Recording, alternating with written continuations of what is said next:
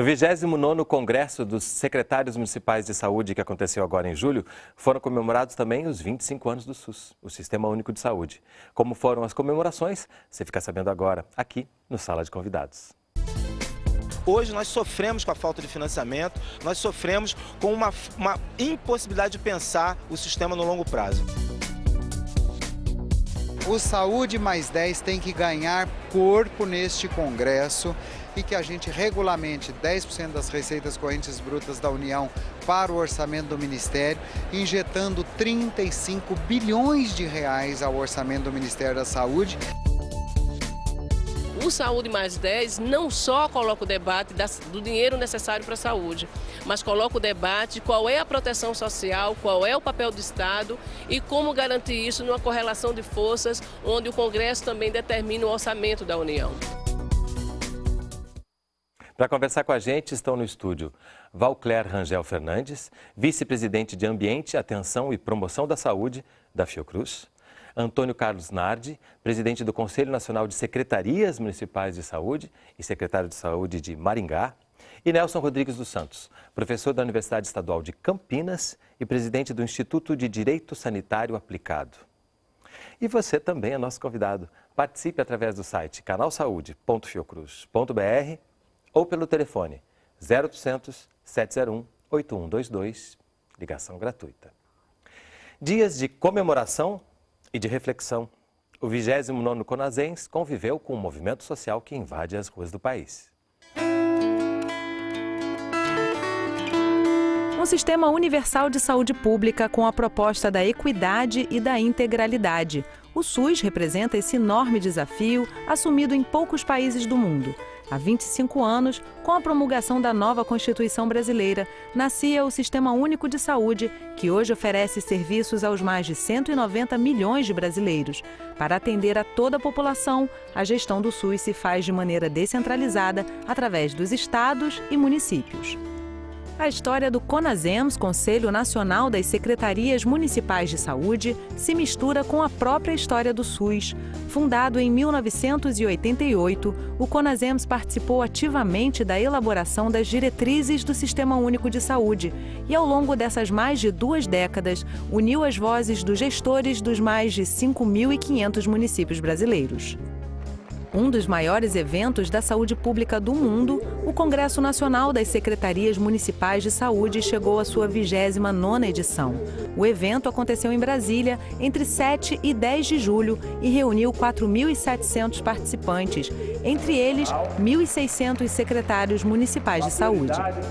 Na abertura do Congresso, o presidente reeleito do CONASEMS, Antônio Carlos Nardi, fez um discurso em defesa da gestão municipal da saúde pública e foi ovacionado ao ressaltar que saúde não é gasto, mas investimento. Temos que pensar, sim, nas especificidades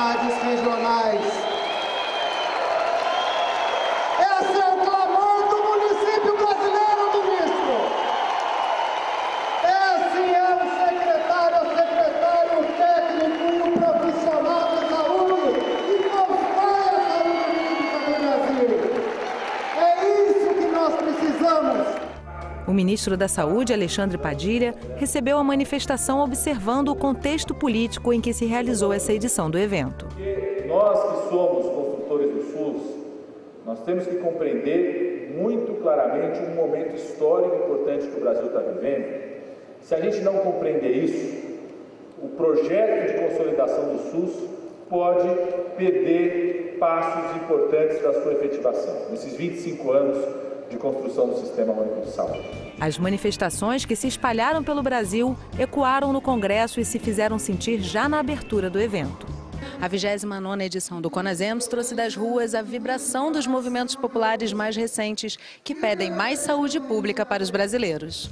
Entre os assuntos que ganharam espaço nas manifestações dentro do Congresso, o movimento Saúde Mais 10, o programa Mais Médicos e o repúdio à regulamentação de partes do ato médico, sancionado com vetos pela presidente Dilma dias depois. Isso veio para a rua e veio para dentro do Congresso exatamente porque a rua não pediu só transporte, começou por isso, mas mostrou que a população quer qualidade qualidade de atenção na saúde, qualidade de atenção nos serviços públicos ofertados de uma forma geral.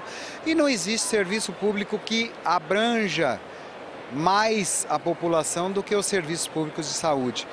O coordenador do movimento Saúde Mais 10, que reivindica 10% do orçamento da União para a saúde pública, considerou que as manifestações trouxeram a atenção necessária para fortalecer o movimento.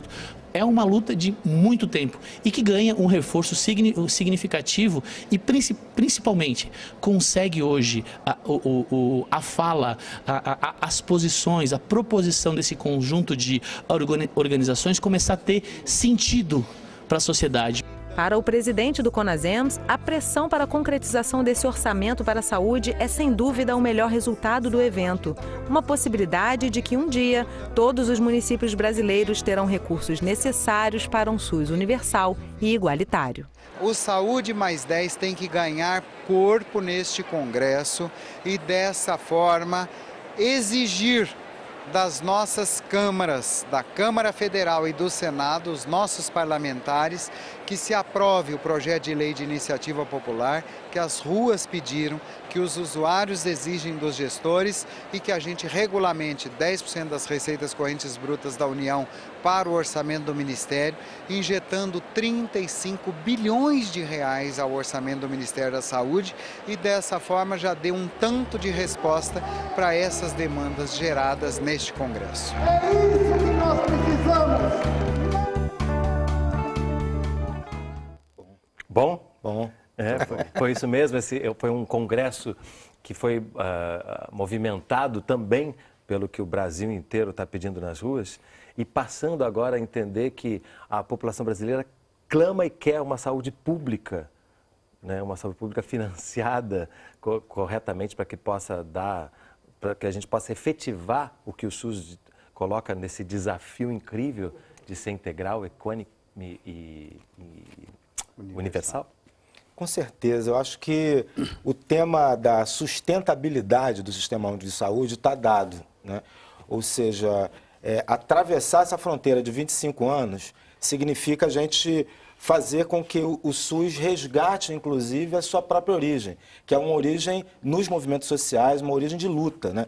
O, o Sistema de Saúde não foi construído em gabinetes... De cima para baixo, De cima né? para baixo. Ele foi construído a partir de, de movimentos sociais. Os secretários municipais de saúde hoje, eles fazem e conformam, na verdade, um grande movimento social também. E associado a esse movimento dos secretários, das secretarias municipais de saúde, a gente tem o controle social, tem as organizações da população, tem a academia mesmo é, é, vinculada a isso, ou seja, pensando novas alternativas, e eu diria que essa principal é a principal delas, né? A alternativa de conseguir mais financiamento, conseguir com que a gente tenha uma, uma, uma, mais outros 25 anos revertendo situações que hoje ainda, tão, ainda estão complicadas. Né? Eu acho que essa é uma, uma questão importante para nós. Com certeza, eu acho que o, o Congresso trouxe exatamente isso, o protagonismo das secretarias municipais de saúde na construção do Sistema Único de Saúde, que ainda continua se construindo. Ele continua se construindo através das demandas que a sociedade está gerando. Né? Hoje, a população usuária do Sistema Único de Saúde, e errado aquele que pensa eu não uso o SUS, porque nós todos usamos o SUS. Né? 100% dos brasileiros usam o SUS, usam o SUS da vigilância sanitária, do controle de qualidade dos alimentos, da água e de tudo isso. E eu acho que é isso que traz à tona num congresso como esse. Traz à tona a discussão da melhoria dos serviços e a rua trouxe isso. Os movimentos sociais, populares, essas manifestações que começou dentro de um processo pedindo transporte e baixa do, do valor do transporte público, mas se agregou a isso a melhoria da qualidade, da quantidade do, e da humanização dos serviços públicos como um todo, passando pela saúde, pela educação, pela mobilidade urbana, quer dizer, os problemas macro e micro que existem no país e que nós, enquanto gestores do sistema, e aí eu acho que o Congresso ter acontecido no período onde as manifestações estavam efervescendo, ele foi essencial, ele foi indispensável, porque ele enriqueceu a discussão, né, Nelson?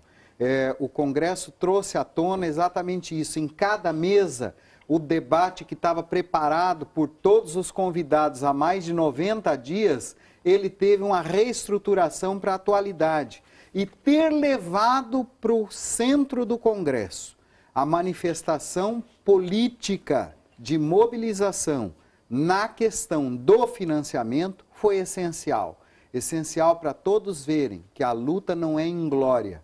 A luta é por um SUS melhor, de mais qualidade, mais humanizado e que não vai ser só o financiamento também que vai dar conta é. de solucionar ele uhum. inteiro. E ao mesmo tempo ele é central na discussão. Né? Exato. Né? E é uma questão que não é de hoje. O financiamento se fala desde o nascimento do SUS, o financiamento é uma questão. Né? Mas hoje pode-se dizer que a gente tem um, um momento, um, uma, um cenário onde essa discussão pode vingar finalmente? Aí a roda pega. pega no sentido de que com 25 anos do SUS, nós temos muito claro hoje que nesses 25 anos o SUS foi construído de baixo para cima, ele foi inventado de baixo para cima, não foi inventado no nada. O SUS nasceu de uma convulsão de pensamento da sociedade brasileira ao sair da ditadura e buscou no mundo inteiro a, os paradigmas, as referências dos melhores sistemas públicos de saúde. Estavam nas civilizações europeias, na maior parte dos países europeus, no Canadá e vários outros países. Esse modelo adaptado ao Brasil para os direitos de cidadania como um sistema público eh, nasceu dessa maneira. A sociedade, a inteligência coletiva da sociedade foi buscar no mundo inteiro quais são as linhas básicas desse sistema. Isso o Conazens traduz até hoje. Um congresso de 4 mil pessoas eh, do Conasems, mais de 2 mil secretários municipais de saúde, é um congresso que tem uma semelhança muito grande com o próprio movimento social. O município é governo, é poder de Estado. Mas um poder de Estado que, ao nascer de baixo para cima para um novo sistema público de cidadania, ele trouxe para ele mesmo as características de um movimento social.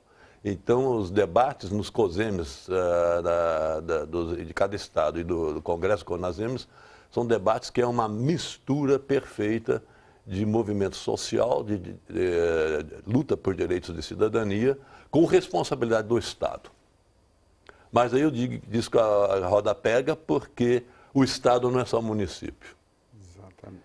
Então nós vamos observar que nesses 25 anos, ah, e pegando pela ah, questão aqui colocada, que o financiamento não é tudo, mas é central, ele é um, um vetor, é um símbolo que vai apontar eh, na sua resultante para que lado vai o SUS, nós vamos ver que o Estado brasileiro, usando o governo federal, não é esse ou aquele governo, esse ou aquele partido, mas o Estado brasileiro revela que existem setores dominantes na sociedade que exercem uma hegemonia no Estado, uma hegemonia histórica, e que esses setores colocaram o Estado para apresentar nos 25 anos duas vertentes para o SUS. Uma vertente que foi já aqui resumida, eu acho que virão outras uh, confirmações, que é a vertente da luta de baixo para cima das secretarias municipais de saúde, dos conselhos de saúde, da, dos movimentos sociais, para ir construindo a universalidade, a integralidade, atenção integral à saúde e a equidade, que é a base dos sistemas públicos, com participação da população. E aí o movimento municipal de saúde, o CONASEMES e os COSEMES nos estados, eles uh, participaram ativamente da, do primeiro pacto interfederativo, que foi a NOB 93.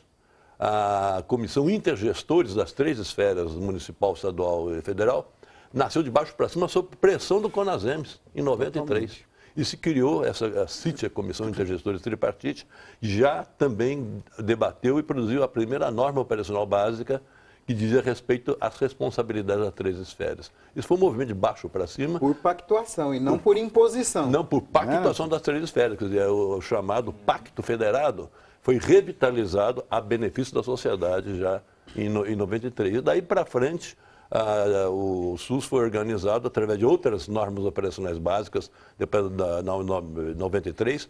Os anos 90 inteiro Uh, o SUS e a sociedade mobilizados brigaram pela antiga PEC, uh, Projeto de Emenda Constitucional 169, que era 10% dos impostos das três esferas, que na última hora, eh, na véspera da, da discussão e aprovação no Congresso Nacional, no ano 2000, durante toda a década, foi a 169 que foi discutida e consensada por todos os segmentos, puxada pelo Conasems, inclusive, e uh, na última hora o governo federal deu um passa-moleque no Congresso Nacional e, na, e no CONAS e no CONASEMES e colocou 12% para os estados, 15% para os municípios, no mínimo, e 0% para a União. A União passaria a colocar recursos no SUS de acordo com a variação nominal do PIB, que na prática é não colocar recursos adicionais. Então, a, essa questão do financiamento é um indicador que não fica só no subfinanciamento. Ela coloca toda uma atitude da política de Estado, não necessariamente de governo, que não fica só no financiamento, que nessa mesma década dos anos 90, isso vem até os dias de hoje, a, essa política de Estado vem colocando subvenções do Tesouro Nacional crescentes no mercado de planos privados de saúde. Isso não é brincadeira, não é qualquer subvenção, é uma subvenção que corresponde hoje a por volta mais de 30% do orçamento do Ministério da Saúde. É o recurso tirado do, do Tesouro Nacional para subvencionar planos privados de saúde. Esse dinheiro é tanto que corresponde a 10% de todo o faturamento dos planos privados de todo o país. E se não ficarmos no faturamento, pensarmos no lucro líquido declarado de todos os planos privados no país, essa subvenção do Tesouro Nacional corresponde a 158% do lucro líquido declarado. Isto quer dizer, o Tesouro Nacional cobre toda a rentabilidade dos planos privados.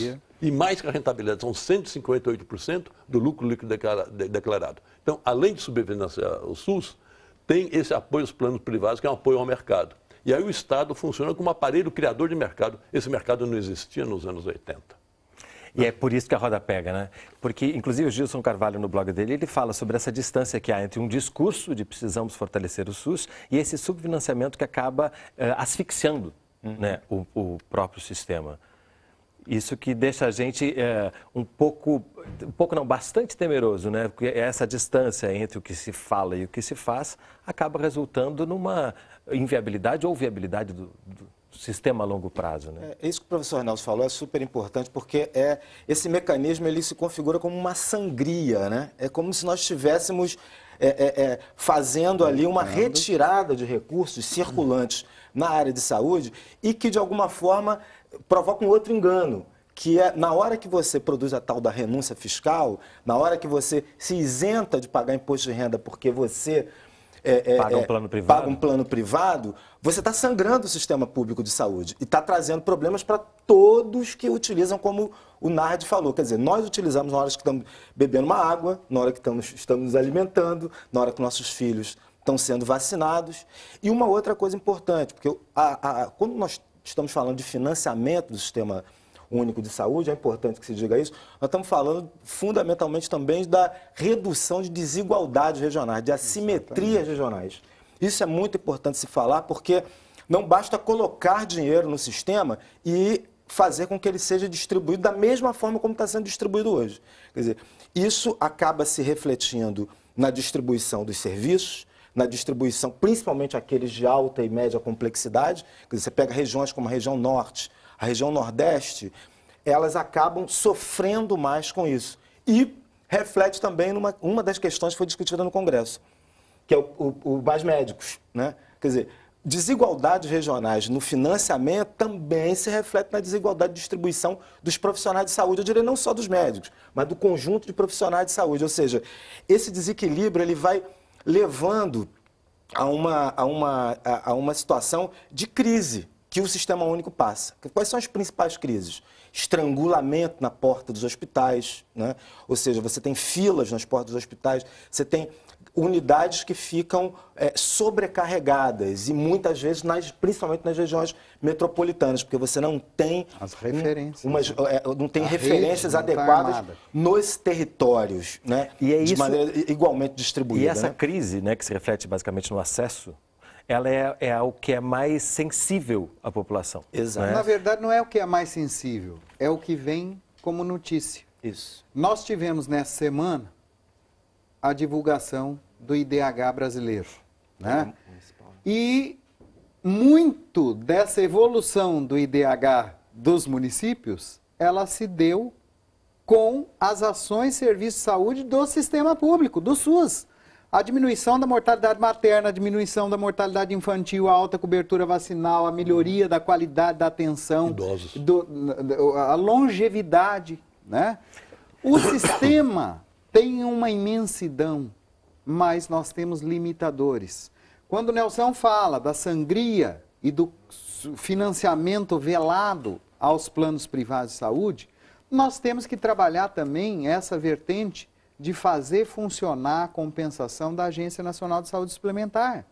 Isto é um problema que o Conasens tem participado, nós estamos na comissão, na Câmara de Discussão da Agência Nacional de Saúde Suplementar também, exatamente para quê? Para nós podermos começar a ter o ressarcimento dos usuários dependentes que pagam os planos privados de saúde e que migram para o Sistema Único de Saúde para realizar os seus procedimentos, principalmente os de alta complexidade, como o Valcler citou que são os transplantes, as oncologias, as hemodiálises, todo esse aparato que deveria hipoteticamente estar sendo financiado para os dependentes pelos planos, ele recai sobre o SUS. E após esse, esse trabalho feito pelo sistema público, o sistema privado entra com a hotelaria, né?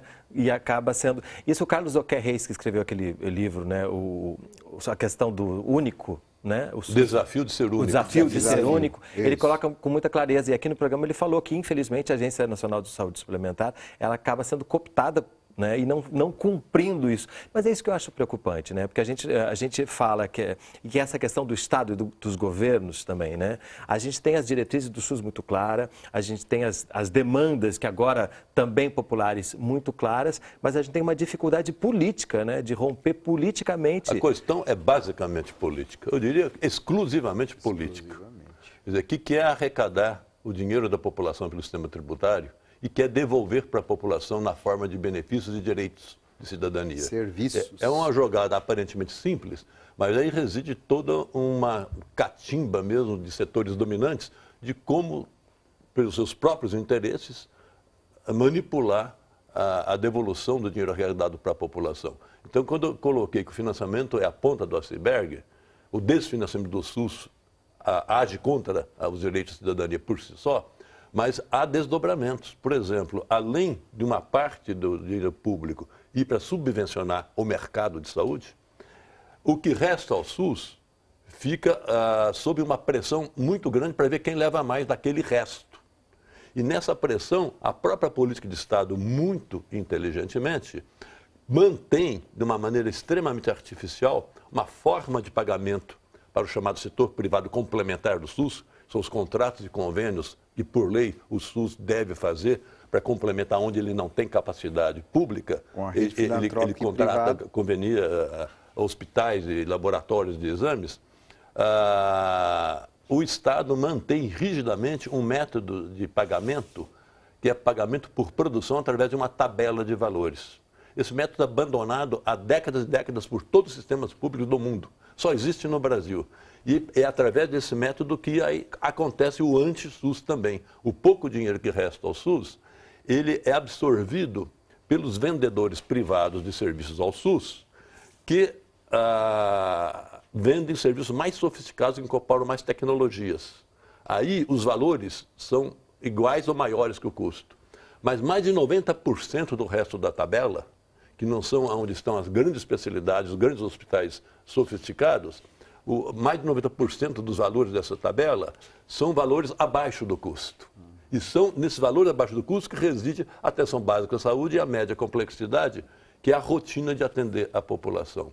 Então, também dentro de- de- desse resto de recursos públicos ao SUS, esse resto ele é privilegiado para ah, os hospitais e laboratórios que trabalham com tecnologias mais caras e sofisticadas. Isto, isto é, o SUS está alimentando um negócio, são negócios que estão sendo feitos. O negócio das subvenções públicas dos planos privados, o negócio de eh, trabalhar com alta tecnologia para vender serviços para o SUS.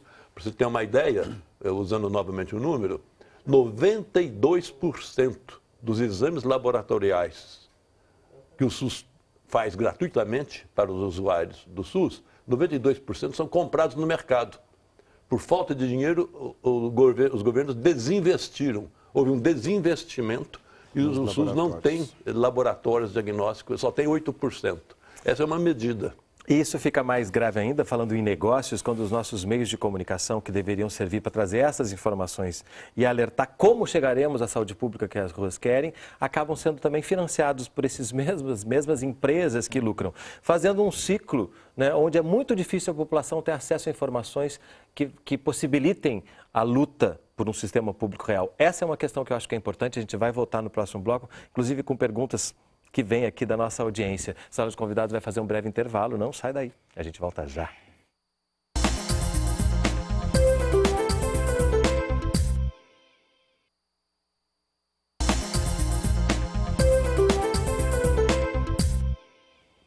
Sala de convidados está de volta, conversando sobre os 25 anos do SUS e o Congresso Nacional do Conasems.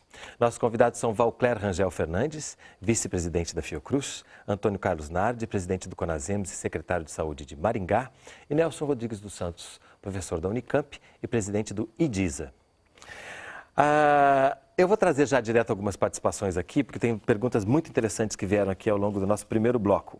Recentemente, Claudice de Barbacena, Minas Gerais. Recentemente vi em um programa de TV um médico criticando o modo como são tratados pelo SUS.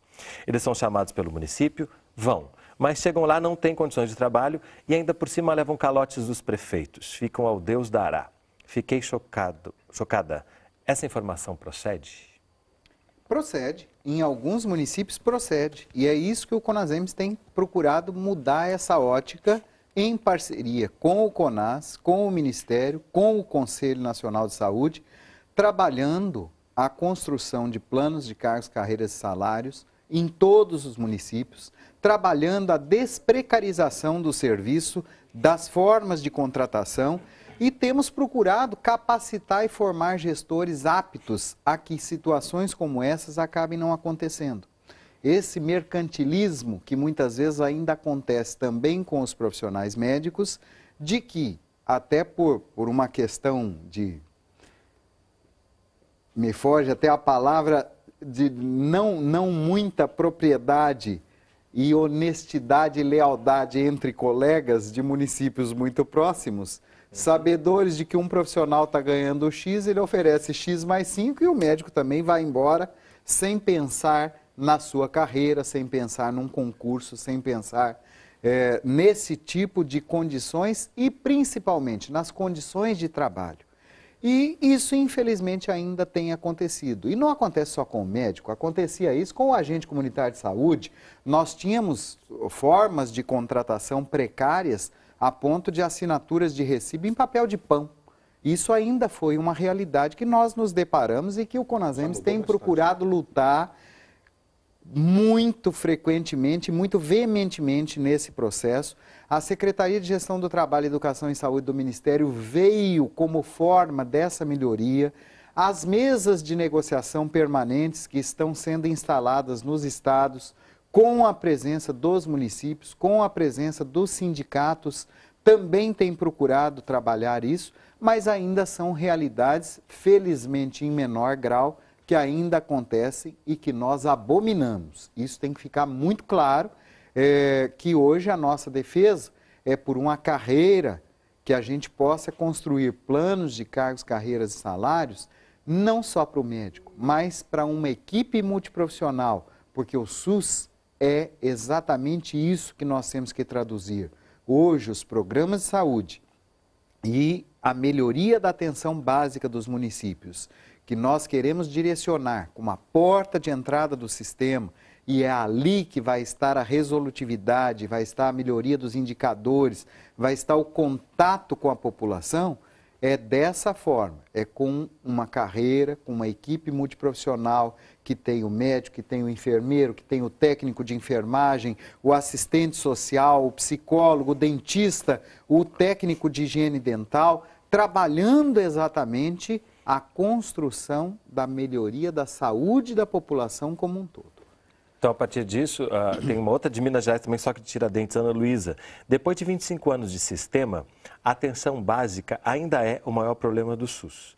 Que avaliação esse encontro traz para a melhoria dessa questão tão importante para nós, usuários? Olha, eu diria, tentando contextualizar as, essas duas perguntas primeiras na situação geral, a primeira grande consequência do subfinanciamento do, do SUS com 25 anos já de idade, a primeira grande consequência é aquela atenção básica desejada, que é colocada em prática concretamente nos todos os países que têm bons sistemas públicos de saúde, são a maior parte dos países europeus, Canadá e outros, eu repito. A atenção básica ela é altamente privilegiada, não só com uma remuneração digna para todos os profissionais, como capacitação permanente para todos os profissionais da atenção básica, mas como condições de trabalho para que a atenção básica possa vir a resolver 80% a 90% de todas as necessidades de saúde da população. Essa é uma meta concreta, já está acontecendo em vários países do mundo, há décadas e décadas. Então não é uma fantasia que o SUS pretenda chegar neste ponto. A nossa atenção básica, a cobertura efetiva dela, não consegue passar de 30% a 40% da população e com uma qualidade de baixíssima resolutividade por causa desse desfinanciamento, que repercute inclusive no aproveitamento de bons profissionais e que, e que eles têm uma adesão e uma fixação junto à população por estarem satisfeitos pelo seu exercício profissional. Então, essa atenção básica nossa, ela está num patamar baixo e de baixíssima resolutividade. E reforçando o que os colegas aqui uh, já colocaram, a primeira consequência dessa atenção básica, que não consegue marchar rumo ao seu papel, dentro, que está na Constituição, está previsto na nossa Constituição, a primeira consequência é que a porta de entrada no sistema continua sendo a chamada média complexidade. As filas de um, dois anos ou mais para alguns exames mais sofisticados, para as consultas de especialidades. Então, é, é, é, esse sofrimento da população que nós chamamos de uma espera iatrogênica, né? quer dizer, durante a espera para ter a consulta, para ter o, resultado do exame, ter o tratamento, a doença vai avançando, então isso vai, paradoxalmente, adoecendo mais a população, quando a porta de entrada é toda despejada na média complexidade, nos pronto-socorros e nas esperas de consultas especializadas. Então, isto já fez que no nosso país, nesses 25 anos, nós temos que comemorar um luto é o luto de perdermos todas as classes médias e todas as classes trabalhadoras sindicalizadas para os planos privados. Quer dizer, é, é, é, essa, essa estratégia dominante ainda sobre o sistema público de saúde, de deixar um SUS pobre para os pobres, já desviou, quer dizer, a classe média e as classes trabalhadoras, que nos anos 80, ao sair da ditadura e lutar pela política pública cidadã, somaram forças e a sociedade toda conseguiu emplacar a Constituição Cidadã e as classes médias, as classes trabalhadoras estavam optando pra, pra, para o SUS e não para os planos privados. Essa nova política que começa exatamente nos anos 90 pelo Estado brasileiro afasta todas as classes médias, todas estão nos planos privados e as classes trabalhadoras sindicalizadas, todas as centrais sindicais estão todas, a única central sindical que não está nos planos privados é a CONTAG ela briga pelo SUS até hoje com os trabalhadores agrícolas. Uhum. Então, esse movimento é um movimento que rachou a sociedade pela metade. Só que a metade que precisa do SUS, que é o SUS, é a metade pobre. E essa metade pobre não tem forças no mundo inteiro. Os pobres nunca conseguiram mudar o Estado ao seu favor. Então, nós carregamos esta cruz para o SUS dar certo. Né? É, há uma fragilidade até de luta social a favor do SUS. E a briga por mais recursos não é uma briga tão grande, não há, não há muita pretensão. Os 10% da receita corrente bruta da União é voltar à mesma briga, ao mesmo pleito dos anos 90, 10% da receita corrente bruta da, da União. PEC 169. Né? É, é, essa, é, esses 10% do que dá, dá o lema SUS mais 10, que estão todos brigando por isso, isso vai colocar no SUS um dinheiro a mais que ainda coloca o Brasil abaixo da média da Argentina, Uruguai uh, Chile e Costa Rica. Temos quatro países na América Latina que já estão colocando em, em, medidas de dólares públicos por habitante por ano. Esses quatro países latino-americanos estão colocando entre 400 e 800 dólares públicos por ano por habitante nos seus países. Nós estamos colocando 385. Se nós passarmos, eh, se entrar os 10% da receita corrente bruta, que é a nossa luta, nós vamos para 500 a 600. Ainda ficamos abaixo da média desses quatro países. Não é pedir demais. É, e, e, eu sempre volto a essa questão, né? Porque são informações fundamentais, né? Que precisam chegar até as pessoas, mas essas pessoas às quais você se referiu, elas são muito vulneráveis a esse merchandising todo que tem e que está, inclusive, dentro das novelas, está em vários lugares, né? Aparecem de forma uh, sutil e às vezes não tão sutil quando alguém, um personagem muito importante, fala: Ah, meu filho se acidentou, Deus o livre que ele vá para o SUS. Né? Então são coisas que vão minando né? e vão, vão programando a pessoa para que ela queira um plano privado. Né? Quanto que essas informações que demonstram que a saúde pública é realmente uma forma de transformar a desigualdade do país, Exato. raramente você tem acesso. Né? Para mim isso é muito fundamental, porque a gente trabalha com comunicação aqui já há 18 anos. Mas isso não vem de né? notícia. Né? Não vem de notícia os milhares de procedimentos na atenção básica que são realizados pelas equipes de saúde da família, pelas, pelos núcleos de atenção à saúde da família, pelos agentes comunitários de saúde, pelos agentes de endemia, porque as pessoas esquecem que a dengue também é um problema que o SUS que está dando conta. Né? E é exatamente isso que não dá notícia. Agora, dá notícia a falta de leitos, quer dizer, com um sistema subfinanciado ou desfinanciado, é lógico que o acesso vai estar prejudicado. E é esse acesso e é esse financiamento que nós estamos buscando com o Movimento Saúde Mais 10.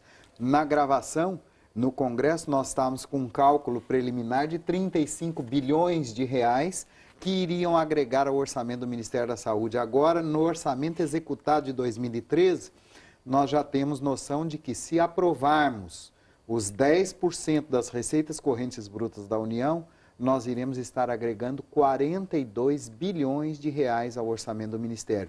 Mas ainda assim, essa conta que o Nelson acabou de falar. Nós vamos estar investindo, não chega nos 600 não, Nelson. Você não tá chega sendo não, é. Dá muito... 550. Exatamente, é 550 per capita, é, 550 dólares per capita que o Brasil estaria investindo. Quer dizer, se nós queremos ser melhor que a Argentina em tudo, Vamos não só no futebol, nem, nem no Papa. Isso.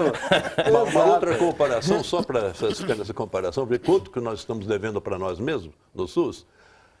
15 países no mundo que têm os melhores sistemas públicos de saúde, que estão tá os europeus, o Canadá, o Japão, Austrália, Nova Zelândia, quer dizer, na, numa conta feita pela Organização Mundial da Saúde, a média de dólares públicos por cabeça ano é 2.530. Nós estamos nos 385 e queremos modestamente ir para os 550. 550. Ainda é um quinto ver, desse valor, é, né? Porque Chegando você, aos 500 ainda. É, para você ver quanto que esse sistema ele é eficiente, né? Pois é, isso. Com esse recurso, mesmo assim, muita coisa se faz. É, né? Isso, isso é, é decisivo, historicamente é decisivo. Que é um heroísmo os secretários municipais, as equipes da Secretaria Municipal de Saúde, é o heroísmo que estão conseguindo fazer a esse baixo custo, inclusive com a inclusão de metade da população brasileira que antes do SUS estava excluída de qualquer sistema. Uma grande inclusão social. Então, há, um trabalho extremamente heróico, diário, desgastante, de produtividade, para poder incluir a população. Só que vai incluir a população num sistema ainda pobre para os pobres que são setores dominantes que estão usando o Estado para isso. Saúde, uh, Cris, de São Paulo. Saúde mais 10 pede à União orçamento. Mas o governo brasileiro é sensível a essa demanda? Não parece. Gostaria de entender, já que está na Constituição brasileira, que saúde é direito do cidadão e dever do Estado. Bom, eu acho que nós temos que aproveitar esse espaço que vocês estão dando. Eu acho que o canal Saúde está tendo uma felicidade muito grande na próxima segunda-feira, dia 5, às 15 horas da tarde, às 15 horas, nós vamos estar entregando o projeto de lei de iniciativa popular que N entidades, ele não é um movimento do CONASENS, ele não é um movimento do CONAS, ele não é um movimento do Conselho Nacional de Saúde, do CFM, da OAB, da CNBB, ele é um movimento da população brasileira. A população brasileira, aos moldes do projeto Ficha Limpa, foi às ruas e colheu assinaturas. Hoje nós estamos com 1 milhão e 600 mil assinaturas dos 26 estados e do Distrito Federal coletadas das mais diversas entidades. Foram mais de 100 entidades, né, Nelson? Que se aglutinaram dando força para esse movimento. E nós estamos, estaremos protocolando no dia 5 de agosto, às 15 horas, na Câmara Federal, esse projeto, pedindo para esses que nos representam, os nossos parlamentares, agilidade, celeridade em passar nas comissões e em aprovar em plenário. Para quê? Para que esses 42 bi que agregam ao orçamento do Ministério da Saúde já possam ser inseridos no orçamento de 2014, senão só vai ficar para 2015. Então é isso. O Saúde mais 10 tem que ter adesão de todos e a pressão tem que ser nossa, em cima dos nossos parlamentares, daqueles que nós elegemos. E o Congresso do Conazense foi palco, né, Valcler? Um Exato. cenário maravilhoso. Nós conseguimos agregar com 4 mil, uma plateia extremamente qualificada, de 4 mil atores militantes do SUS, defensores do SUS que dá certo e trouxemos as nossas autoridades políticas, senadores, deputados, mas principalmente nós trouxemos o presidente da Câmara, Henrique Eduardo Alves, que vestiu literalmente no palco, na plenária, a camisa do Saúde Mais 10 e se comprometendo a fazer a sua aprovação e a sua agilidade na Câmara. Então é a população que nos assiste que tem que acompanhar que essa agilidade de fato aconteça e que essa aprovação venha para esse fim. Eu acho que tem uma questão assim que da sensibilidade do governo, o governo, na verdade os governos como um todo, né? o governo federal, os governos estaduais, os governos municipais, tem que perceber que saúde é investimento. Isso. Na hora que você coloca, na hora que você instala uma unidade de saúde da família, na hora que você instala um hospital, você está criando uma dinâmica, inclusive econômica, naquele território. Isso é muito importante. A saúde hoje é um dos setores que mais emprega no Brasil. A saúde hoje é responsável por uma, uma circulação de recursos, pelo, por uma, um percentual é, é, absolutamente importante do PIB nacional. Né? Dizer, o, o, a saúde não é gasto. Né? A é, saúde é investimento. O a investimento... gente viu aquela resposta clamorosa lá no, quando, a, por essa exatamente, frase que é fundamental. Né? Exatamente. Porque uh, o que, que acontece? Nós precisamos ter uma, uma noção, e aí os governos, de uma forma geral, muitas vezes olham, e, olham para o maior gasto que se possa ter no sistema de saúde como um desequilíbrio de contas. Na verdade, não percebe que esse. Não, não há um desequilíbrio de contas. Na verdade, o que há é uma injeção de recursos importantes para circular é, é, é, fazer uma circulação de recursos no, no, território nacional. Porque esse é o argumento, muitas vezes, que se ouve, inclusive, em relação a esse investimento federal, né? Uhum. que seria um desequilíbrio, não se teria, que o Estado iria à falência, uma série de outras coisas que se ouvem como Exato. resposta a essa questão. Né? Isso já está provado que não é assim que funciona. Né? Exatamente, ou seja, e agora, nós temos que admitir uma coisa, nós precisamos fazer um conjunto de inversões aí. Inversões voltadas para maior, mais atividade de promoção da saúde, mais atividade de prevenção à saúde, mais atenção básica, melhor organização da porta de entrada do, das emergências e hospitais, criando sistemas de referência. Se a gente olha para a carta que foi aprovada no Conasem, está lá. Tem que ter cartão nacional de saúde. Não tem jeito. Não há um sistema desse, desse porte organizado sem, sem cartão nacional de saúde para identificação do usuário, de forma que ele possa circular livremente pelas unidades. E levar consigo a sua história, né? É, para que exato. quem o atenda é, saiba do, das, das, necessidades anteriores. Né? Não há um sistema único de saúde se não houver avaliação tecnológica, se não houver regulação de que tecnologia você vai absorver no sistema. Porque hoje, né, se falou do mais médico, falou da atenção básica, a, nós médicos estamos sendo formados, hoje eu diria que cada vez mais, para uma assistência onde a dependência de tecnologia é muito grande. Isso gera custo. Isso, isso gera uma, um desperdício, na verdade, de recursos, que está lá na formação médica, né? na formação médica, na formação dos profissionais de saúde. Então é preciso fazer inversões. Não há como. Agora, é preciso que a gente perceba que essa inversão, inclusive, também depende de recursos. É preciso formar pessoas de maneira diferenciada, é preciso de descentralizar a formação médica nesse país. É preciso criar novas estruturas e novas formas de olhar para a atenção à saúde. Será que com isso, de alguma forma, você já respondeu ao Tércio Oliveira de Manaus, que diz o seguinte: mais orçamento, fundamental para a saúde, mas e a gestão desse orçamento? Não há uma perda enorme de recursos pelo não entendimento dos gestores de como funciona o SUS? Nós temos ainda a, a, é, lacunas nesse aspecto, né? lacunas de formação. Né? Eu diria que o NARD certamente pode falar bem sobre isso. Eu, eu, eu, diria que eu já fui secretário municipal de saúde, já estive na, na, na Secretaria de Estado também. O que a gente percebe é, e muitas vezes isso não é muito falado, né? É, é, há uma inconstância, você não tem uma estabilidade dos quadros de gestão na maior parte dos municípios do país. Agora, na última, nas últimas eleições, parece que houve uma renovação de. chegou a 70%. A 70% dos secretários mudaram. Então, e isso muitas vezes por conta de outras questões. Hoje, ser secretário de saúde no país é muito difícil. Não é simples. É complexo. É complexo. Uhum. A, a, burocracia é muito grande. As pressões dos órgãos de controle são muito grandes, muitas vezes exageradas, que geram muito risco para as pessoas. E aí você não, não tem herói o tempo inteiro. Né? Mas, efetivamente, a gestão faz parte de, uma, de um processo, ela, ela, tem, ela tem no seu interior um processo necessário de estabilidade, de formação, das universidades, instituições como a Fiocruz poderem estar é, é, tá atuando nessa área, podemos multiplicar é, modelos diferenciados de sucesso para o conjunto das, das, das, secretarias municipais, secretarias estaduais e no próprio Ministério da Saúde, mas esse é um processo que está em andamento, né, Nádia? É, eu acho que o Valcler foi muito feliz e, e, e o Nelson nos, sempre nos acompanha como nosso consultor técnico do Conasens também, nesse processo. O Conasens tem um papel importantíssimo na formação do gestor e na condição do exercício de uma gestão eficiente. E isso o Conasens tem procurado trabalhar em parceria com instituições formadoras. A ENSP tem sido grande parceira nossa em cursos de qualificação e formação de gestão.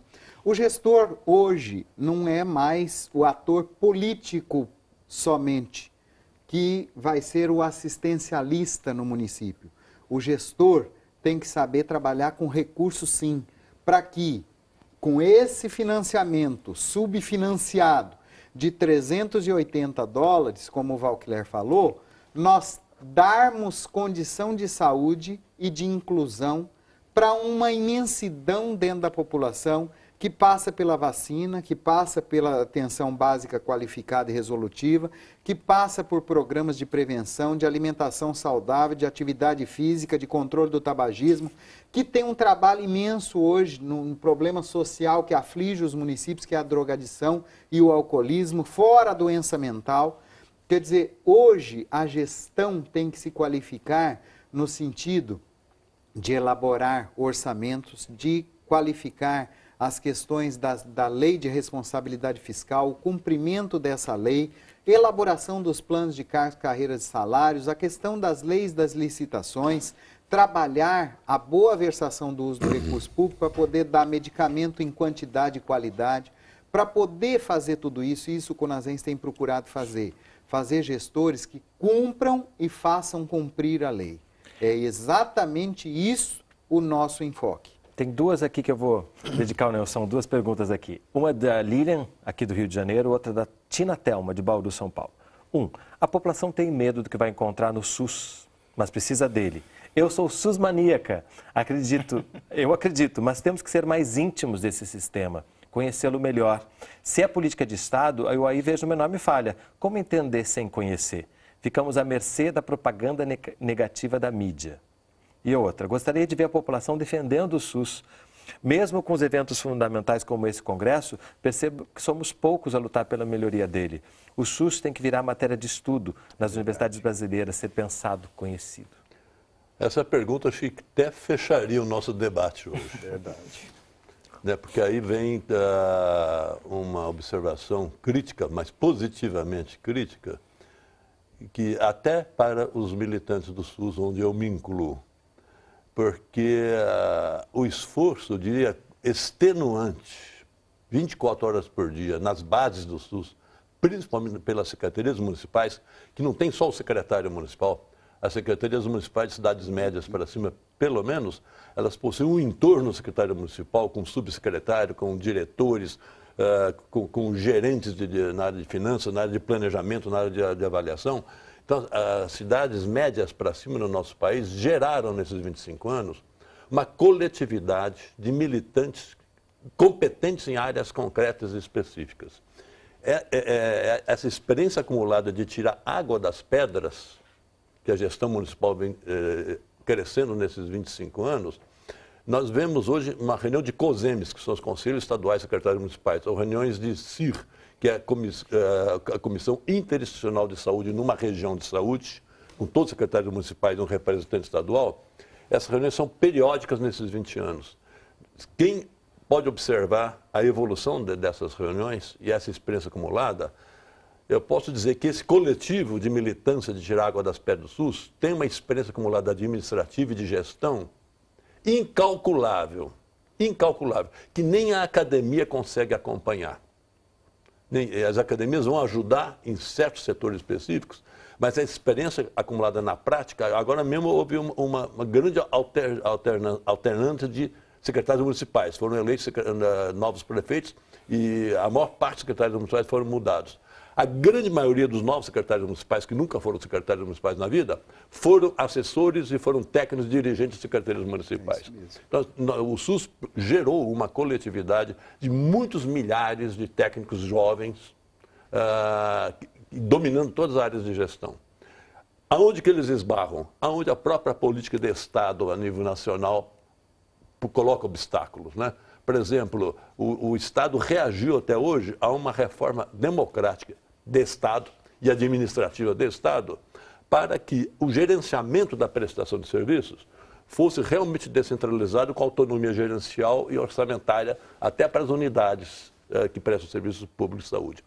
O burocratismo e o centralismo da chamada administração direta é um entrave na área do gerenciamento na, uh, para as demandas sociais em todos os países do mundo. E todos os países do mundo que têm bons sistemas públicos fizeram a sua reforma uh, de, de, Estado administrativa, colocando uma agilidade muito maior, maior na mão dos gestores descentralizados. Né? Nós não temos isso. Então, hoje, é, essa experiência acumulada de água das pedras bate num teto. Que teto é esse?